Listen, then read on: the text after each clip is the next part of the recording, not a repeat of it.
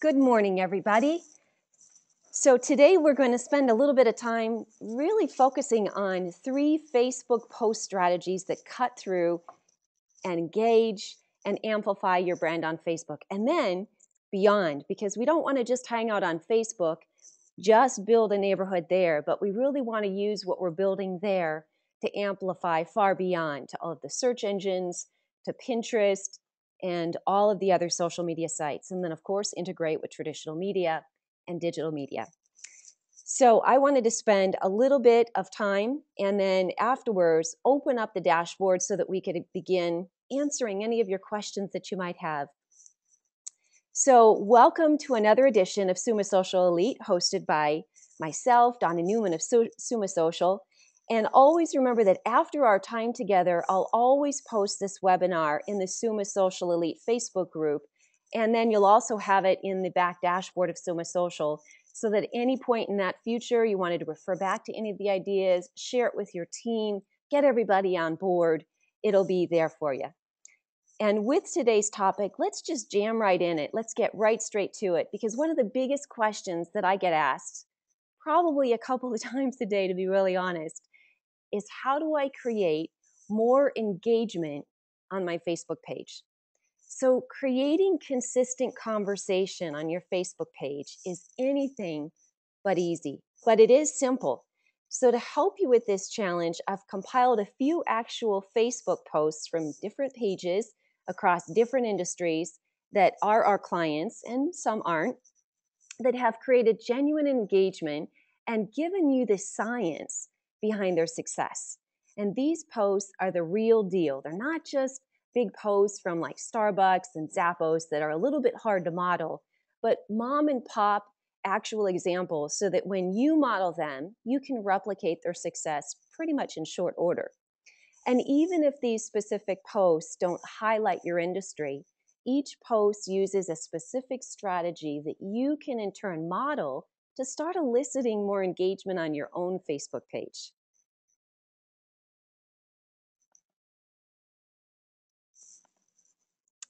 According to a ComScore, Google and Facebook are still the biggest sources of traffic. Many companies, as all of you here this morning, have explored the use of Facebook for your brand. So, my goal today is to provide effective insights and strategies for incorporating this explosive site, Facebook, into your company's marketing mix, no matter your industry, and giving you at the end of our time together three specific ideas and then exact examples. So, literally, if you copy them, you can have great success. And if you model them, you'll have replicated success. One of the biggest selling points about Facebook and probably any social media platform is definitely this particular strategy right here. We have 90% of consumers online trust recommendations from people they know. And then 70% of the consumers are online trusting recommendations from unknown users. So when you really size that up, what you're finding is that people value recommendations. That's still the highest calling for why most people get business in the first place. It's all about word of mouth, it's recommendations. A valuable person that you know, like, and trust recommends somebody else that they know, like, and trust. And in turn, a consummation of a relationship is built. And the science behind why that's so successful online is that people are going first to a search engine to look for your industry or look for your service. And with that being said, they're looking at online recommendations traditional sites like Yelp. They're looking at consumer reports, online versions of that. We're looking at recommendations through testimonials that are on your Facebook page. And so knowing that that is like the backbone behind what is causing people to tip over to make a purchase, you got to be on Facebook and then you got to intentionally give them what they're looking for, which in this case, they want recommendations about your product. And that's one of the reasons why great posts with your photographs of your great clients or videos talking about your specific industry, your service, uh, your team is so valuable and usually the tipping point for them wanting to use you. And then the difference we want to focus on too between paid, owned, and earned media.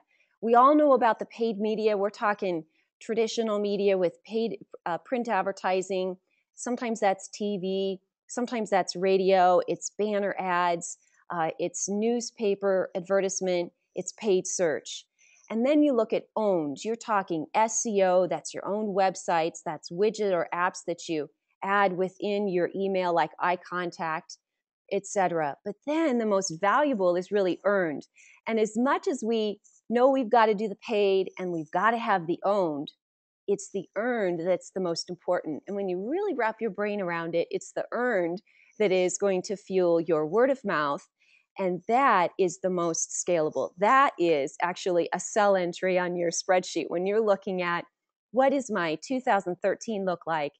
Well, how can you generate more earned media so that you can write in there that there's an expectation of what that dollar amount is going to bring in there for you? So, in turn, we're looking at SEO, we're looking at Facebook, uh, YouTube, we're looking at Pinterest, we're looking at forums like the social media forums of Twitter, of LinkedIn, where you are building your brand, but you're doing it from a vantage point of showcasing the results and then backing into, well, how did you get those results? Well, I used this particular real estate agent. How did you get those results? Well, I worked with this incredible leader and she was an awesome coach. Well, how did you get those results? Well, it just so turned out that my smile is simply because of this great dental. So when you think about it, earned is the most important platform that we really want to focus on. So today, in that interest, we're going to focus on Facebook and how do you earn the, the privilege of serving more people and allowing that to be a scalable cell entry on your Excel spreadsheet as you're going into 2013. So here's what you're going to learn in our time together. First, you're going to cut through the noise of Facebook. And when you do this, early research from major brands are showing that Facebook can drive substantial traffic to your website, to your service, to your Facebook page. So when you do this, you want to understand who's my target audience and how what do I want from them? What what do they want from me? And to be able to supply that on your engaging posts. The second thing in our time together is we're going to look at engagement to build lasting relationships. And the hint here is this really happens when you know your target audience. So you have to linger long enough to really understand what are their pain points? What do they want from us? What, what's titillating for them? And how can I offer that information? And then third, we're going to end it with amplification beyond your fan page and your networks as well, I'm going to pack this webinar with plenty of specific examples to model because I don't know about you, but I always learn best when I see examples. So let's head straight into some. The first thing that we're going to look at is we're going to cut through and we're going to change out your cover photo. And the reason, uh, guys, this is so important is because majority of people, when they first come to your page, will only come to your page once, and then everything else that they see from your page, they say, research says 90%, is that they're going to see it in their newsfeed. So if that's the case, you want to frequently change up your cover banner so that it is available for the first time browser coming to your site or the repeat browser. But then every time you change up your cover banner, it auto saves to your photo album Second, it auto posts to your wall so that people have a chance to see that beautiful banner, that engaging post. Maybe it's timely, coming through, threading through their newsfeed. It's going to get a lot of likes because it's going to be full of great images, and that's number one element get, that gets the most engagement on Facebook. But then here you've got a great chance to be able to showcase some specific timely promotions. You have to be a little uh, responsive that Facebook doesn't want you to put percentages on there or promo codes, but you can put engaging photographs like Starbucks up here and then the yogurt did up there. But you put the end experience. Wouldn't it be great to experience this Frappuccino? Wouldn't it be great to have this engagement um, of eating your yogurt like that? Then you look at something that's a little bit more close to home. Those are big brands. And you look at a group down here, you've got a real estate group, beautiful brand new building, commercial building that they're showcasing. But then something that's even more clever, and I'll show you this in the next slide too. Here we've got a fabulous commercial building, but the inside of that commercial building is showcased with four additional vignettes, some of which are interior, some of which are the outside terrain. So here you've got an opportunity to showcase this is on the market, and here are four vignettes of what's inside of our product that's on the market. And another great way to do that is simple. Again, we're bringing this back to your own neighborhood. This ha- this is a particular template we have in the back of the Summa Social dashboard, whereby you can come in here and you can create just like Jen did. You can put in your entire background. You can put in your particular logo, and then because we have four slots here, she put in four specific listings um, and then she's got, or one listing, but she's got four vignettes of that specific listing. So she's got the curb appeal, she's got the backyard, she's got the experience that you would have if you have all the recreation indulged in, like the pool, and then she's got the the the far distant image of what the backyard looks like, and you create this image without saying very little words. So each time she's got a brand new listing, her strategy is she wants to put it up. And she deals with a lot of luxury markets down in Gilbert.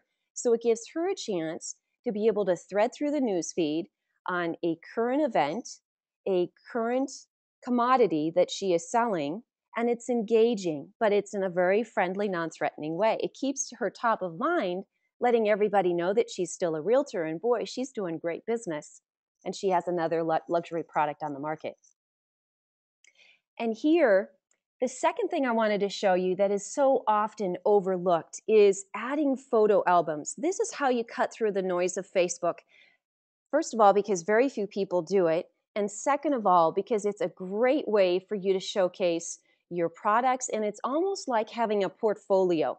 So, an example here is this fabulous team, Soma Realty Group, and they're specialized in North Scottsdale of Arizona.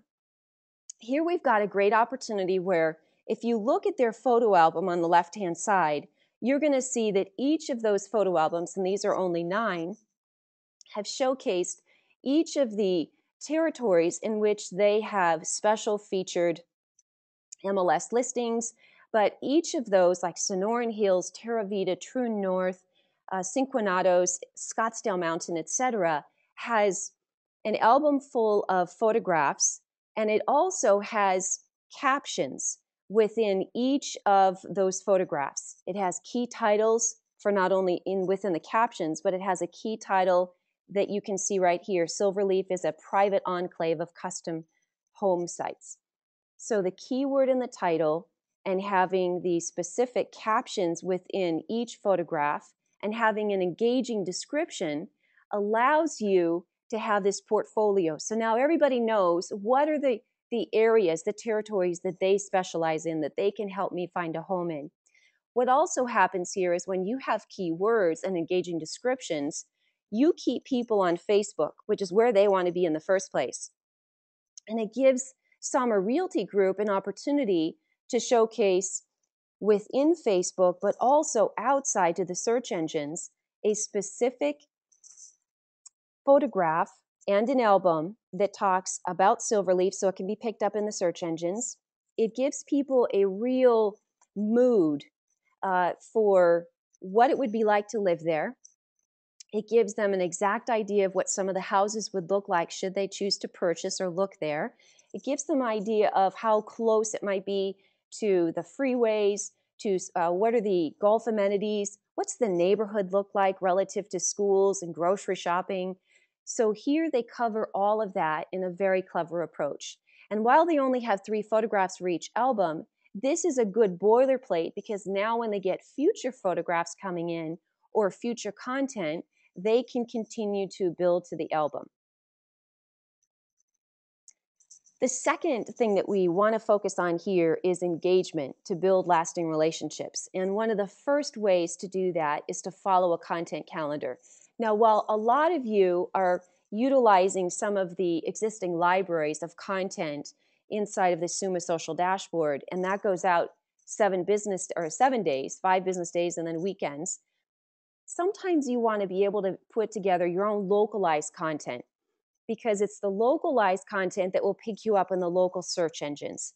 And it's that local content that will cause people to engage upon your promotions, uh, upon specific events, and they look towards your content that's threading through their newsfeed as a resource for what am I going to do this weekend? How am I going to spend my time? Where should I make my purchases? What kind of Christmas presents should I buy? And so when you've got a sample weekly calendar, you, whether you plug it with specific posts or you just kind of follow our sample weekly calendar with really good ideas and kind of the science behind why the idea is a good one in the first place, you have a bare bone that will help you generate some ideas. And you do not have to post every day. We recommend that your timing be no more than twice a day.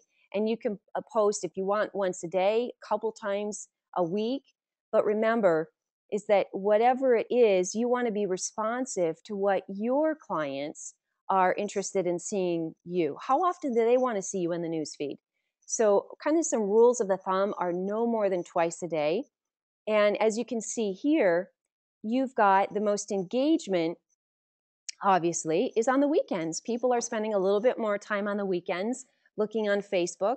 So, if you've got some engaging posts that are local about what to do, where to spend their time, uh, how to get a good deal, you're going to engage them and they're going to maybe print out a coupon off one of your posts, maybe specifically follow your advice. And here you've affected your audience and you provided huge value.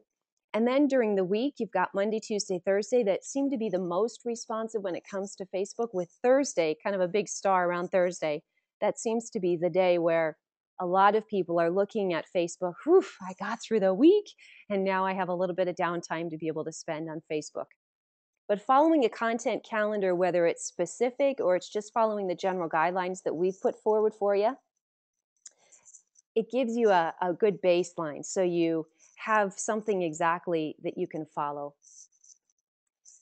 And then it's about compelling posts. I'm going to walk through three different ideas. Sometimes when you write a post, you just simply have to tell people what to do because they they just numbly go through Facebook. It's like watching a TV show. I'm sitting on the sofa, I got my popcorn, soda pops in the other hand, and I'm just gonna watch and you're gonna entertain me. But you you okay, so you want to entertain them, but at the same time, you want to generate some action. Hey guys, I want you to do this. So an example is this one right here. Like if you can relate to this, or share if this made you chuckle or at least crack a smile this Saturday morning. And as you can see, the response was pretty good because 1043 followed with a like, and then we've got 332 that have shared it. So sometimes you have to say at the end of your post, not just like a stamp of a documentary or a quick title, sometimes you got to have a little playful, hey, like if you can relate to this, or share if this made you chuckle, or like question mark. A second idea is posts that end with a question get a 15% higher engagement rate. And what you'll find is that everybody has an opinion. So the science behind that is because they have an opinion, and most people obviously can't hold back their opinion, they want to share it. So it gives you an opportunity to generate some interest, some content, and some comments that, again, further allows you to develop that relationship with them, or at least have some talking points that when you go off Facebook, or you send them a private message to follow up, you have an opportunity to customize and generate that call to action so that you can help them with your service or your business. And the next one that gets a lot, and this is my son's favorite school to go to, uh, the one that gets the most influence is fill in the blank posts. They generate so much interest because again, people have opinions and they like to play and be entertained. So here's an example. If I were graduating from high school this year, I would love to attend blank for college.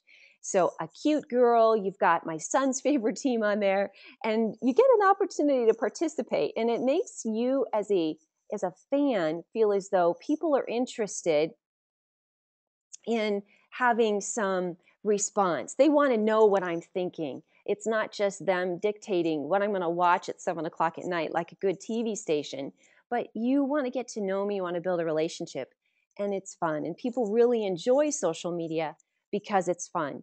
But because you know the science behind it, you're going to utilize the fun approach to generate their comments, to generate getting to know them better, and then bringing them through the finish line so that they want, want to use you. And then we get into some compelling posts. And this is where I was talking about the richness of the local and the timely.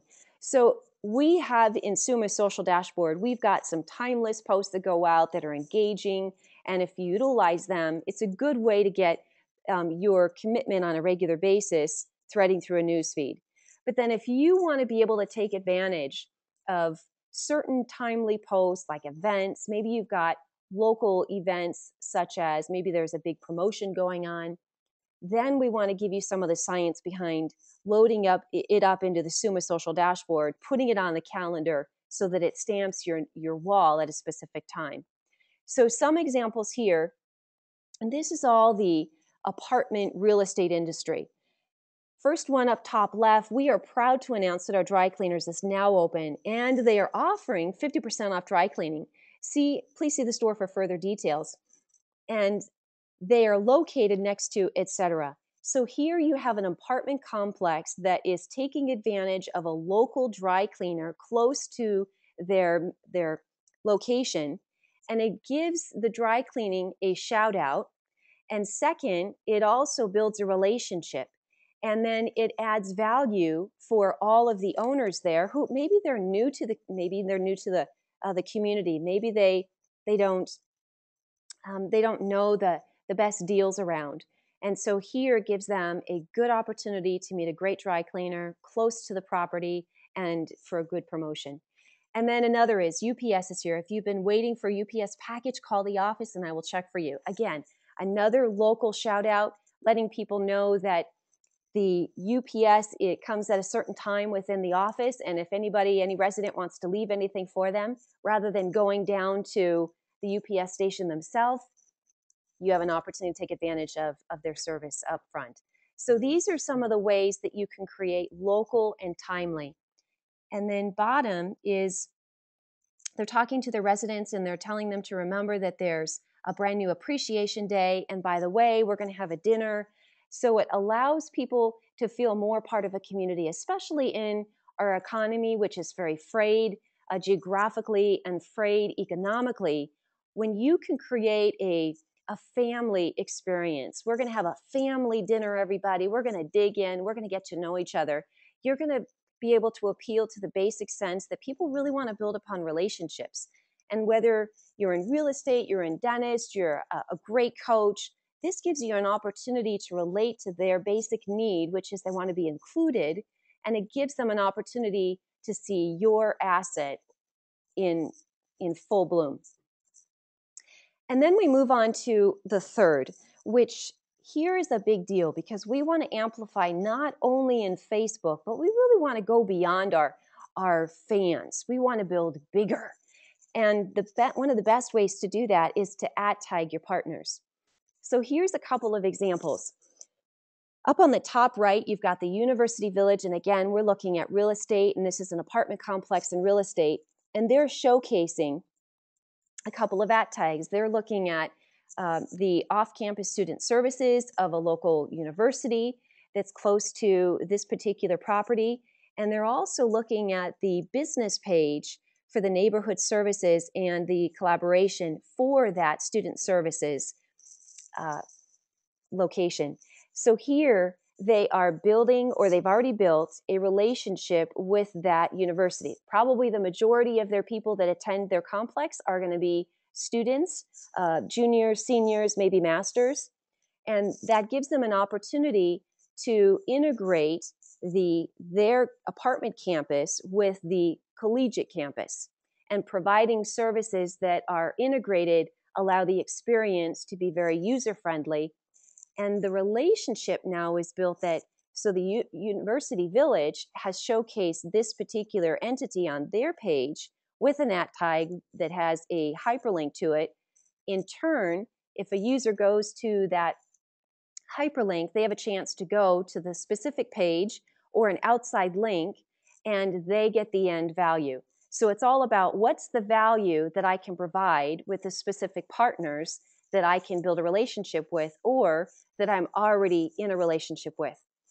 And then you can create these clever, clever posts. So you can say, we got, and then do an at tag, this person's book. So this is an author at the Urban Space Library. So their specific apartment complex has a library. And it was bought by the specific person is a resident.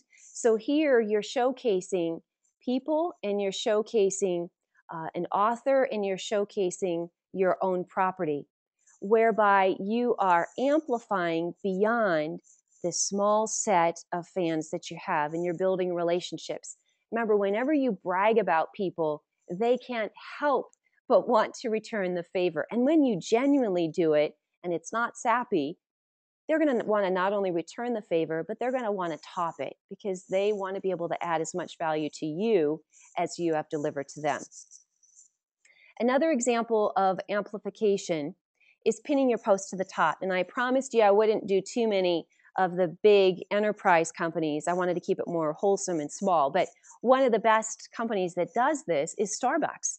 And so when you put on a simple post, obviously an engaging photograph, and you go ahead and you pin it to the very top, what that does is it marks that specific post up to the top left as the first post on your page, on your wall, for seven days. Thereby, anybody who's coming to your wall for the very first time, they've got an opportunity to see the most important asset or engaging asset that you have. And here, Starbucks is talking about iced coffee. And, and so it gives them an opportunity to immediately grab that person as maybe a like, maybe a like for this particular post, maybe it's a comment, maybe it's a share. But that's a good strategy because it allows your pin to go to the very top and to stay there for seven days. You might have a webinar, uh, you might have a specific listing, you might have a, a brand new promotion if you're a dentist, if you're a flower shop and you're running a Valentine's special. This gives you an opportunity not to get lost in the news feed for the people coming to your page for the first or subsequent time, but they see that promotion in the top left and they don't have to search for it. And then another way to amplify is to star important stories. And this is where when you star, again, everything that you're going to be doing for this is going to appear in this top right corner and it's going to be a drop down. While this is a static slide right here, you can't see it. But when you go onto your wall and you've made a post, just put your cursor up to the top right corner and you're going to see the pencil light up and then you'll be able to star it which means that instead of having the traditional width, you're going to expand across two columns. Thereby, this does not go into the newsfeed uh, as this size, but it does stay on your wall so that when people are kind of scrolling through your wall, and oftentimes they do to figure out what's happening. And when they're engaged, of course, with that first pin, you've got them and they want to spend a little bit more time on your site. So here you have expanded your video or your, maybe it's a coupon or maybe it's a photograph and you've given that star importance so that others, as they thread through it, it allows the visual to pop off pretty easily. And then milestones. This is something, again, that's overlooked. And it's a very simple thing. But when you first started on Facebook, you can create your very first dig. You can show exactly when you started Facebook or when you started your company. And this, again, just tells your story. One of the reasons why people buy is not only the word of mouth and the testimonials, but it is the story behind the person giving the testimonial. And it's that personal story that will sell a person every single time into buying your service or your brand or your product. So, whenever you can give them more stories, you give them something to talk about. Another idea of that is perhaps you would go ahead and put up your video. So, we have Carrie Dandy here who's gone ahead and put together two things here. She's gone ahead and she's pinned, as you can see in this, this little ribbon up here, she's gone ahead and, and pinned her post. So for a short time, that was appearing in the top left for seven days. And then it also was a video, so it archived in her video album. And then also, she allowed it to be a milestone, which means that when people go all the way down, just like they do in this top right corner here, this is start, they're going to go back to your start date and they're going to see her video, which is who she is. It's engaging, it's fun. This is what it's like to work with me. This is how much fun we can have together. And that gives people an understanding of what you're you're going to give people your talking points and you're going to give them that fun story to be able to go ahead and, and showcase. So to sum it up, what we're doing here is when it comes to Facebook, Facebook engagement in specific, the key is to know your audience and to really understand what in the heck makes them tick. And if you know what topics, what words, and emotions will trigger them to take action, because it's all about action for us business people, it becomes much easier to craft the perfect post that demands engagement. And once you know your audience, use these three Facebook post strategies to solicit massive engagement and by the way, here's the great thing about our time together. With the exception of that one Starbucks example, most of these posts were not from big brands, some real people having really cool conversations. So now I am going to go ahead and give you the opportunity to ask any questions. This is going to be your turn. So I'm going to look at the questions. There were a couple questions that came in, and then if you guys uh, want to be able to ask any live, I'll go ahead and unmute everybody. So if everybody gets a little noisy, then I'll start muting you all up. But if you want to ask away, but first give me a chance to be able to respond back to some of those written questions. So the first one is posting two times on Saturday and two times on Sunday a good idea? That is new to me. And I haven't really been doing that much on the weekends at all. I learned something today. Oh, Susan Brady, you're so awesome. So yes, I think I think it is again, it's knowing your your audience, but again, remember that when people are on the weekends, you don't want it to be so salesy, but you want it to be a little bit more local because people are looking, how do I spend time with my family? Uh, what kind of uh, promotions can I take advantage of? And they've got free time. So if you give them some ideas about how to spend their time, how to spend their money, and it's related to either your neighborhood or specific to your your brand, then you've you've added some great benefit. And and if it's not, and it's just something like a great photograph and a funny, that's great too because people have more time to be able to thumb through Facebook than they do during the week, and that gives you an opportunity all all to stay top of mind. And that is really the backbone behind people talking about you and then recommending you and ultimately choosing you. So i've got the the lines open. Does anybody have any questions you guys are too easy so remember the secret to engaging on facebook isn't isn't really about showing off your products or your services directly it's really about finding the creative way to showcase how those products and services fit into the lifestyle of your target audience. And if your business finds a way to do that, specifically these three examples, you'll have what it takes to make Facebook an integral part of the marketing mix and accomplish your company goals. So if if you don't have any more questions, or if you have questions along the way and you kind of think, "Ooh, I wish I had asked that one," feel free to come on over to our Facebook page later today or anytime throughout the week. And that's facebook.com forward slash Summa with two M's social. Or just type in Summa Social into the Facebook search box and we'll pull up. Or you can also post your questions in the Summa Social Elite group on Facebook. And whether I get to it, one of my colleagues gets to it, or even one of your, community members gets to it, uh, it's going to be a great way for you to get your questions answered. Ooh, and we've got one more question that just popped in. How do stories get connected to your page? We can discuss that later, just trying to figure out how to do that. Okay, uh, Christine, uh, probably later today, you and I can uh, put our brains together and, and, and wrap some strategies behind that. So no worries. But again, everybody, thank you so much for joining me. I appreciate it. Have a wonderful afternoon.